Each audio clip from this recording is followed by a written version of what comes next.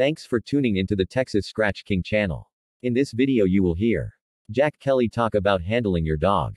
Jack Kelly begins with In the just recently past several decades, just about everything about bulldogs have improved tremendously.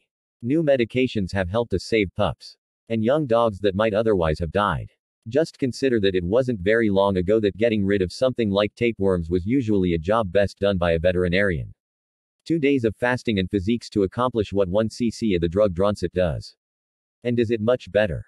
And all the time it takes is the time to load up a syringe. The techniques for saving a dog after a long hard performance have saved untold numbers of dogs that would have otherwise died of their injuries. Commercial dog foods have kept dogs healthier longer and lengthened their reproductive years. Canine nutrition has improved to the point where just about every serious conditioner knows how. What and when to feed his dog to bring him or her to their peak. Exercise technology has taught us the best exercise for dogs. And how to effectively use it to increase a dog's strength and stamina. There is really only one aspect of the dogs that have not only not improved, but has taken a definite slide backwards. I think we can all agree that the job of a handler was to do everything possible within the rules to help your dog win.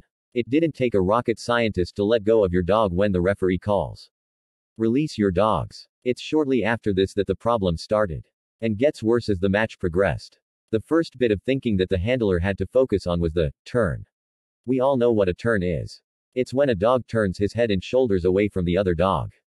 It has always been since the beginning of time. Been considered a bad move. The whole concept of a turn roughly parallels a knockdown. In the old Marquis of Queensberry bare knuckle boxing matches. If a boxer was knocked down he was helped to his corner where his handlers had a minute to help him recover and regain his senses. Walk out to the scratch line in the center of the ring. And assume an aggressive posture to indicate to one and all that he is ready, able, and willing to continue the contest. It was called coming up to scratch. A dog can't get knocked down. But if he turns away from his opponent, then he must come up to scratch. Since you can't teach a dog to just simply go to the center of the pit and growl at the other dog. He was required to go from his corner to his opponent corner and take a hold. The match and the boxing match then continues until the dog or the man will not or cannot come up to scratch or his handlers concede. Back to the match. Either handler could petition the referee to allow a turn on either dog. It is then up to the referee to determine whether or not the dog had in his opinion actually committed a turn. If the referee allows the turn he would then instruct the handlers to handle their dogs when they were free of hold. The referee should not hold some sort of a mini conference with the handlers to try and get everyone to agree that a turn has actually been committed. It is the referee's call. In many instances, once a turn was allowed, both handlers would hover over their dogs anxiously waiting for the slightest indication that the dogs may be close to coming out of hold. Apparently, it would appear that no thought was given to the fact that it might not be in the best interest for one or the other dog to be handled. Certainly, if your dog had committed the turn you might want to get a quick handle. To have your dog scratch as soon as possible. If on the other hand your dog has just kicked it into high gear. And is on top going strong. Then you surely don't want a quick handle. The rules require that you must handle your dog when both dogs are out of hold. But that doesn't mean that you cannot encourage your dog to stay in hold. If that is to his advantage. It usually appears that both handlers were so intent on getting the dog scratching that they gave little or no thought to the proper strategy that would be the most advantageous for their dog. It actually appeared that neither handler had any kind of preconceived plan of what he was doing. After a few handles, the anxiety really starts to show on both handlers. And by now they are attempting to handle while the dogs are still in hold. In many cases, this can get pretty rough on the dogs. For example, the Buck and Sandman match. I was standing, perhaps a foot away from the pit. Ricky Jones attempted to handle Sandman while his dog was underneath Buck, who had a soft hold on Sandman.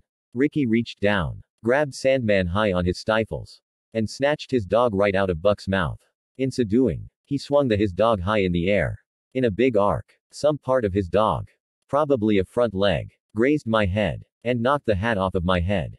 Ricky's backers, among the spectators, applauded with cries of, Nice handle Ricky. Imagine if you will. This maneuver from the dog's point of view. He's down there, swapping it out with the other dog. At somewhere around an hour and a half into the match. When suddenly he finds himself flying through the air. And then bounced around in his handler's mad dash to get to his corner. Where he is placed down and almost drowned with water. It's amazing that it doesn't take more than 25 seconds for a dog to recover from that kind of handling. The whole procedure, in all probability, did more harm to Sandman than what Buck was able to do at that stage of the contest. Gently does it. And I'll never know why some handlers feel it necessary to get back to their corner as soon as possible. The referee cannot start counting until both handlers are comfortably back in their respective corners. There are a hundred little things that a handler could do to help his dog win. A dog is basically color blind. You're about an hour into a tough match. Your dog has to be somewhat disoriented. And he's up to scratch. The referee says, Face your dog. And you turn and point him in the right direction. And he looks across to where the other dog is standing. The other handler is holding a white dog. And wearing black pants. I guarantee that your dog is going to see that contrast a whole lot sooner than he would if the handler was wearing a light colored pair of pants. Several years ago, my friend Don Colbert was matched into Jimmy Space Cowboy. And a bitch called Doe that came from Sorrels. Colbert's bitch was as cross-eyed as that old-time comedian that used to appear in many of the Laurel and Hardy movies. I think he made a good living just being able to make himself look cross-eyed. The cross-eyed bitch wrecked Doe for about 15 minutes. And Doe tuned and ran a good scratch a quick handle. And it was the cross-eyed bitch's turn to scratch. Doe was a buckskin bitch and Jimmy was wearing khaki-colored pants. Colbert pointed his bitch in the right direction. Of course. He was only guessing. You could never tell where the bitch was looking. Jimmy and Doe stood absolutely still in their corner. And I'm sure the cross-eyed bitch never saw more than a light-colored shadow. She took a couple of tentative steps out of her corner. And at about the time, a spectator, sitting about halfway between Doe corner and a neutral corner, stretched his arms up over his head. The cross-eyed bitch scratched. Straight and true. Right to that movement. Of course. There was no dog there. And Cross-Eye looked all around and couldn't find Doe until the referee said, 10. If Jimmy had made Doe an easier target, and didn't keep Doe as still as he did, it might have turned out differently. Handling a dog in a show is probably the most neglected aspect of what is important to help your dog win. Some handlers seem to just have a knack for doing the right thing at the right time. While other handlers seem to do the wrong thing at the wrong time. I refereed a match in New England many years ago in which the handler actually snatched defeat from the hands of victory. I don't remember this handler's name. He was a new fellow. Probably handling a dog for the first time. He was matched into Irish Al Kivlin. And his champion dog Spike. A veteran of three contracted wins. Several off the chain wins. And many rolls. He was pushing seven years of age. Al thought he could win one more time. The newcomer was handling a big, strong, young black dog that looked like he wanted to eat Spike for lunch. And he was doing just that for almost an hour when Spike turned. The old dog looked like he didn't want to scratch. He was feeling his age. And that young black dog was all over him. Then I looked over to the other corner. The newcomer was holding his dog with one hand. And had a fist full of skin on the back of the black dog's neck. And sticking his arm, full length, out of his corner. The black dog looked like a puppet on a string. Dancing around trying to get loose so he could get back to the action. You could almost see what was going on in Spike's mind. When he saw all that movement he figured he could try it one more time. Spike kept trying it one more time until the black dog decided he had enough. And stayed in his corner. Something I alluded to previously. Putting water on a dog. In your corner. After a handle. The dog naturally is hot from the action. And you want to cool him down. You have 25 seconds to accomplish that. The fastest way to do that is to saturate the dog with water. However, the faster you cool the dog down, the faster he will heat up when exposed to the same thing that got him hot in the first place. It might be the best thing to do if the handles are coming rather frequently.